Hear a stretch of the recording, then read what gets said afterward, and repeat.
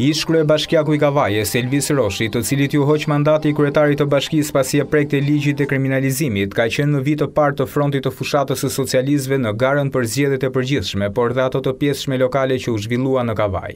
Si të shiet në këtë video të transmituar në një televizion lokal në kavaj dhe të publikuar në faqen Facebook të këti televizioni më datën 24 qëshorë, Elvis Roshi ka qenë në fushat me kandidatin e parti socialiste për bashkine kavajës Dorian Murati në fshatin Helmes. Në pamje dalohet qartë Elvis Roshi që takot me qytetarët dhe kërkon bështetje për Dorian Muratin, kandidatin e pësës.